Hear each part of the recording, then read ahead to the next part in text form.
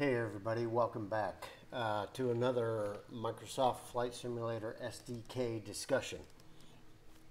Um, so, it's important to organize what you're doing when you're creating scenery or creating an aircraft or whatever it is.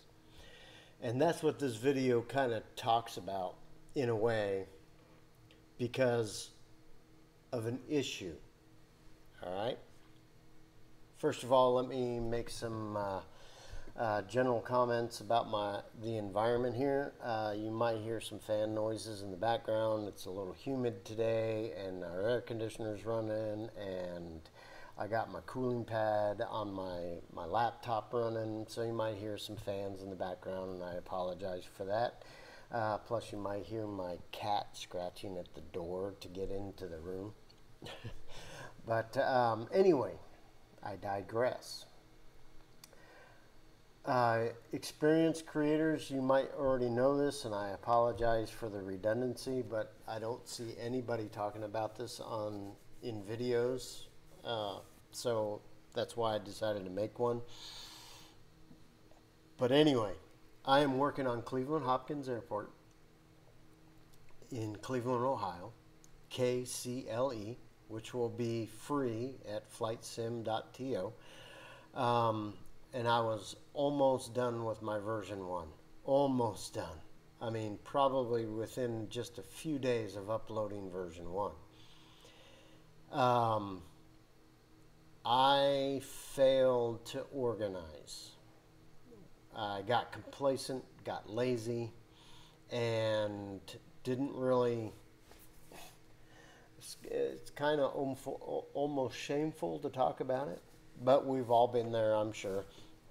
But I just went in and just created a simple scenery using the airport, uh, using simple scenery and adding this and that and the other thing, and didn't name things as I was, I was creating them. I was being really, really sloppy. So if you guys ever wonder why you guys are getting crashed to desktops, CTDs, well, I would have caused one for you. Um, scenery designers, mod makers, whatever, when they get lazy, like I did, um, you can have you can have adverse effects on other people using the simulator. Um, other reasons for crashes is uh, making modifications to your system that aren't consistent. Okay. Microsoft Flight Simulator and Asobo have created a fantastic product. Uh, it's second to none, to be honest with you the simulator world has been around for 40 years. Okay? Crashes, they happen, folks. They do happen. But the crashes that I'm seeing all over the internet on, on groups and things, it has nothing, a lot of them have nothing to do with Microsoft Flight Simulator or Asobo, Okay? They deal with uh, mod makers like myself crea- uh, scenery creators, aircraft creators, instrument, you name it. Any modification, if it if it has a little bit of laziness in its creation, it can cause the crash. Okay. If you're making tweaks to your computer that just just make it sloppy, it's going to crash. Microsoft Flight Simulator is stable, okay? So, anyway, I'm going to talk about my laziness and how to how to correct that laziness. And a lot of you may not even know you can do this with the XML layouts um, in in the SDK. Okay. Flight simulator scenery and mods are strongly are strongly dependent on XML in their creation it's really the brains behind the creation. All right. Yeah, we have a fantastic graphic uh, graphic uh, user interface to create our scenery and our mods and stuff. But really, it's the XMLs behind the scenes that are really the brains of it all. Okay? So let's quickly, if I can, and I apologize if I drone on, forgive me. Let's talk about the situation that I created. All right? So, you are looking at the uh, the revised version of my airport. I'm basically starting over, all right? But the XMLs allow me to not have to redo all of the, the monotonous, mundane creation of a lot of the features because the XML has the data in it. So if you messed up something, don't delete your original project. Keep it because those XMLs are a wealth of information that you do not have to recreate something. Okay?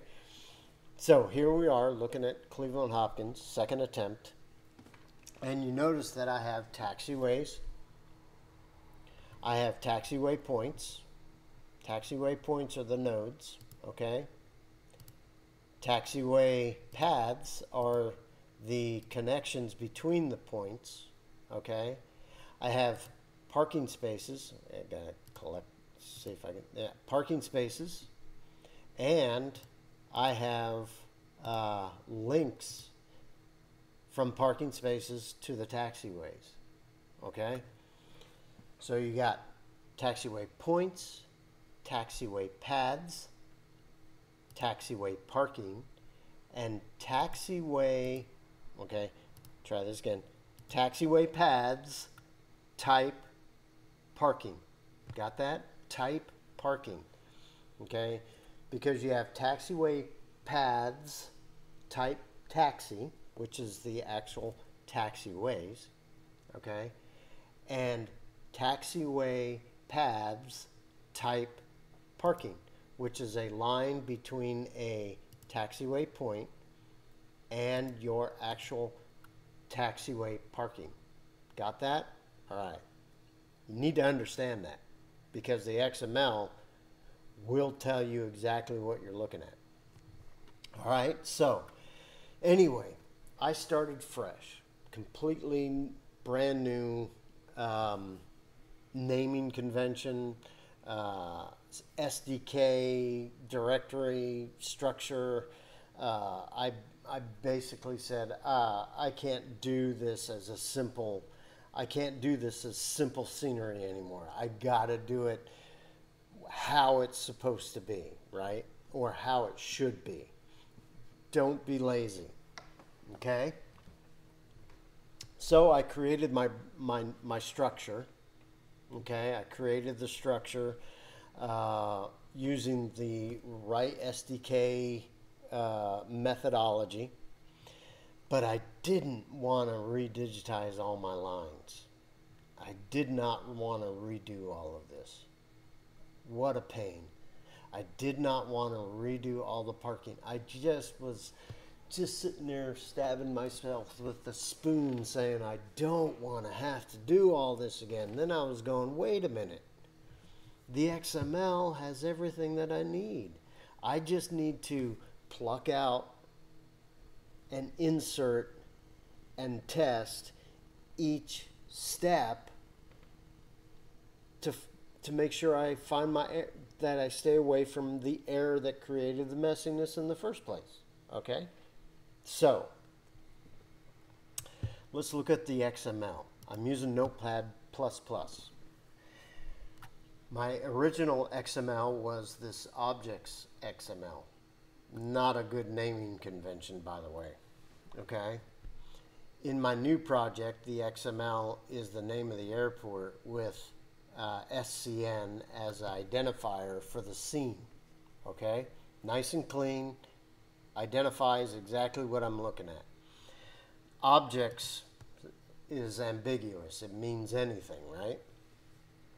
But looking at the XML, I'm not going to go through the entire XML. I'm going to concentrate on the taxiways for right now and points and parking.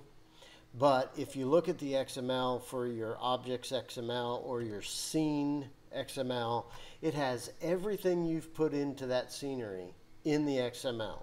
Okay? It has what it is. It has where it is. Uh, not in this particular case. Actually, it's somewhere. Oh, it's down the line here. Um, not yeah, yeah, there it is, right there, right there. Long lat, okay, latitude and longitude. It has the geography of where that object is, and its orientation. Okay. It has all the geography for that particular object. Okay. Now we're dealing with taxiways, so I'm gonna come down here. Remember, taxiways are made up of points and links between those two uh, links between the points. The point is a simple xy coordinate, latitude and longitude. Okay, actually, this is yx. Latitude is y, x, uh, longitude is x. Okay, but it's an xy coordinate in space. Plus, it has a type, normal, uh, a stop short, uh, sh uh, hold short, whatever. Okay, but a taxiway is made up of points and links between the points. All right, each point has an identifier, which is the index. So, if you look here, we have point zero, which is the first point I added. Always starts with zero and point and index 3 is the fourth point that I added as I was digitizing. Okay, so if you know that index is its identification number, you, you, you just you have a wealth of information there, right there, just with that one number. Now, this taxiway point or groups of points have links between them to create the actual line between the points. That is called a taxiway path. So let's, there's thousands of points, so let's uh, kind of scroll down until I get to path.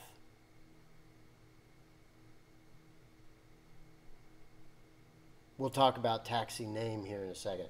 But taxiway path, alls it is, is a link between two points. Okay? So, Let's take this first one, which is um, taxiway path 201. It has ID. I, it has a unique identifier. It's type parking, so that tells me that it's a link between a taxiway and a parking spot. Okay, right off the bat. Uh, don't worry about surface. This is the this is the the texture that's being used. This is its GUI uh, GUID uh, for that particular text, uh, texture. But I want you to see the start and the end. Okay? The start is a point. It's a taxiway point. The end is a parking space. Okay? A parking space. All right? Now, if it's not a parking space, well, uh, I don't want to confuse you. Here we're talking about parking space. I'll talk about a type taxi here in a second. So this taxiway path type parking tells me that it starts from taxiway point 2113 and it ends at parking space not the name of the parking space, but the identification number of the parking space, 2304. Okay? Now, let's move down here to type taxi. Okay? Taxiway path. This is a uh, type taxi is a line between two taxi points along a taxiway. All right?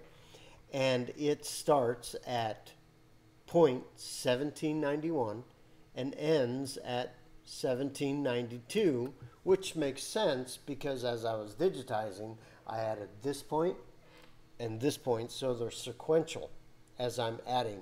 Now, if I went over here and added a point way up here out of order, then this number would be different. But I was digitizing points.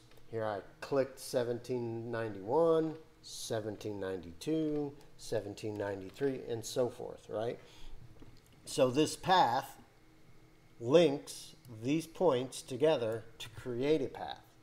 So I had to know this. All right. So also, I have all those taxiways, each has a name. Okay? Taxiway A, B, E1, H, J1, K1, or uh, Kilo 1, Lima 1, okay? Mike, Mike 1, Mike 2, blah, blah. You guys understand the taxiway names, right? But anyway, when you name your taxiways, it creates these taxi name tags. All right. So, in order for me to reconstruct all my taxiways, I needed to know this information. I needed the taxiway points, type taxi. I needed the taxi name, and I needed the taxiway path, type taxi okay, just to create the taxiways. Not worried about parking yet. So what I did was I found everything that had taxiway point, regardless of its type. Okay, regardless of its type, I didn't care about the uh, the type of the point. That that that I'm not worried about that right now. But I wanted all my taxiway points, needed them all. But I only wanted taxiway path type taxi. Okay? So I cut, I copied that all those lines out of the XML in my objects XML and I pasted them where they're supposed to be in the airport tag, which is up at the top, airport tag. Then the taxiway points come first. This is all alphabetical order, by the way. Um, it, it, you can really kind of put them anywhere, but just to be consistent. Um, but they have to be in the airport tag itself. So I got my points. I got my, don't worry about the parking, got the taxiway names, and I got my taxiway paths. But they all had to be relative to the taxis. Okay? Now I got parking in here, but I'll talk about that in a second. Okay, so I only had type taxi. I copied those into my new XML. Then I loaded up the project and built it, and I, all my taxiways showed up in my new project. I didn't have to digitize them by hand. All right. The next step was to do the parking. All right. In order to have the parking, I needed the parking space and I needed to know which which paths had type parking okay? Because type parking paths link a point along the taxiway to the actual taxi parking okay? So I go into the XML and I find all of the type parking. All right. So I know where those are in the XML. Okay. The other thing about the parking is we're going to come down here to parking. Oops, parking's up here. It's in alphabetical order. Parking has different types. Ramp GA, ramp parking, has no dependency other than the latitude and longitude of the point, okay, and its heading, which direction it faces, okay. Taxi park, taxiway parking type gate has a dependency. It has to have a sim object associated with it. All right, so I didn't want to get complicated bringing all this stuff in. So I only wanted my ramp GAs parking, okay? Because I didn't want to have to bring in my my jetways yet, okay? A jetway is a sim object, all right? So I alls I did was I selected all the taxiway parking that had a type of ramp, okay? And my taxiway paths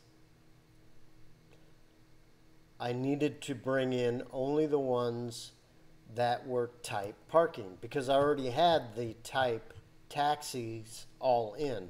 So I selected all of the type parkings, okay, and all of and only the parkings that were type ramp. So I selected all those in my XML in my objects copied those, and then pasted them into my new XML. Then I went into the editor, opened the project, built the project, and then all of these parking spaces with their links showed up just fine. Okay? And then brought it into, put it in my community folder, opened up the, the Microsoft Flight Simulator, and tested it okay? And ATC, you know, I parked my airplane there. ATC knew exactly where it was. It, uh, I told it I wanted to depart to the south, and it created a path coming down this line and over to the the runway that I that I was going to leave on. So it worked. Okay. Now for the big one, and that was to bring in the taxi, the, the park, the taxiway parking, that was type gate. Okay?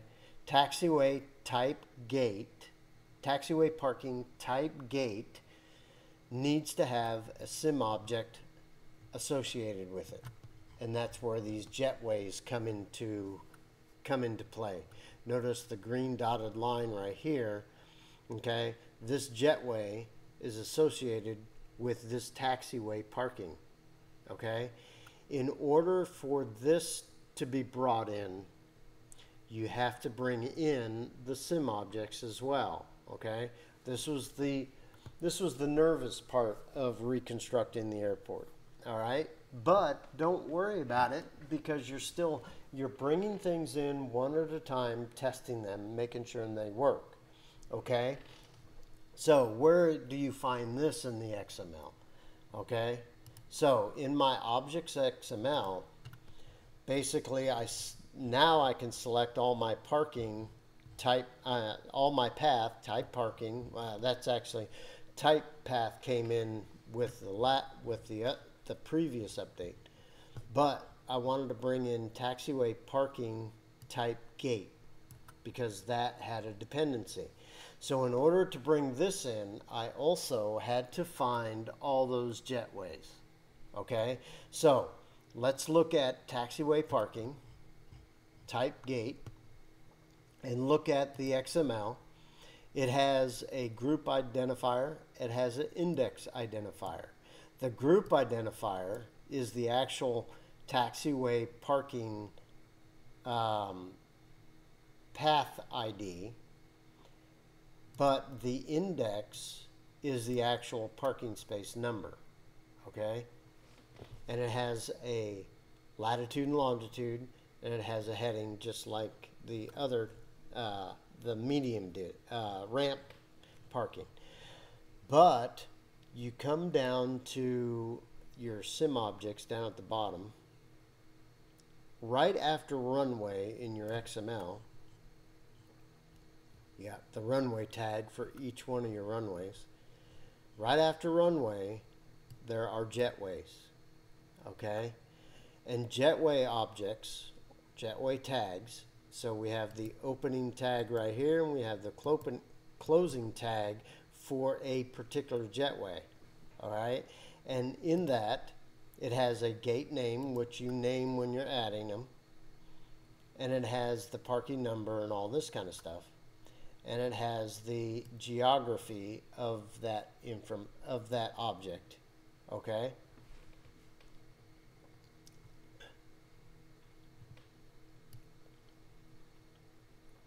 Okay, so that's all the data that comes with a jetway.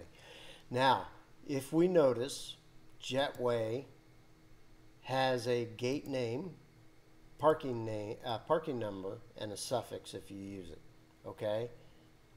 Don't worry about uh, the actual container because that was just the sim object that I selected from from the library. But this name is associated with that parking space. All right, so if I go up to my parking space, my taxiway parking, okay, and I look at taxiway parking, I have an index number and I have a type, okay? But if you notice, it has a name, a number, and a suffix. These have to match that jetway. Okay? So jetway is associated with these numbers or these tags. Okay? So the next step was in my original objects XML was to come up to the taxiway parking and only select, because I already had the ramp stuff in, but to select out the gates medium and also copy all of these jetways you know select the point where you want to start so let's say I just wanted this jetway here but I wanted all of them but let's say I just wanted this one, I would copy here, go over to my new XML and paste them in their logical order. So if I come down here after runway, you'll see all those jetways that I added in. Okay? And then I save the XML, come into the project, reopen the project, rebuild it, and then test it. Okay? And so I was able to build this, put it in my community file, start Microsoft Flight Simulator, and test it. And it works just fine. Okay? So, the hard part of this airport is done. All right? Or the monotonous part. The second monotonous part is working with like all the aprons. Now that I think that's where I actually messed up because I didn't name all of my polygons that I was digitizing. Okay, I named one. So if I come down to in my original object XML, and again, I'm sorry, this is a boring video. but it's it's useful information in my opinion. Okay, so after jetways, there's the apron tags, and inside the apron tags, you got a display name. If you don't name it in the editor, display name won't be there. Okay, but I of all the polygons that I have in my project or in the old project, I only named one. That's the only one I can identify. Okay? And that is a polygon I digitized along taxiway L. Okay? So I can select this, copy it into this XML, come into my editor, rebuild the project, and I will have taxiway L, which is down here, this long taxiway right here is L, then I would have the polygon in there. Test it, see if it's okay, all right? But in my new version, I'm going to do some, I'm not just going to, you know, copy all these polygons back in. Um, there's some polygons I'm going to actually redo make more organized, make sure I put a display name so when I look at the XML, I know exactly what polygon I'm dealing with. Okay? So anyway, the this this video I can go I can bore you some more and talk about the XMLs. I know I've probably bored most of you already, but the XMLs are extremely important if you need to reconstruct things and don't want to have to redigitize things. Get to know these XMLs. Get to know what these tags mean, okay? So anyway, uh, I'm reconstructing my Cleveland Hopkins Airport. Um, I'm going to be redoing my aprons now. And then after I get the airport, and, and here's the, here's the thing, one of the sloppy things that I did wrong was I have all the buildings. I have all of the buildings uh, for the airport ready to add in to the scenery. Well, what I did was I created my airport and then I created a polygon and then I started putting my buildings in before I started doing my taxiways and all my all my aprons. Very sloppy. When you're doing your airport, do the airport infrastructure first.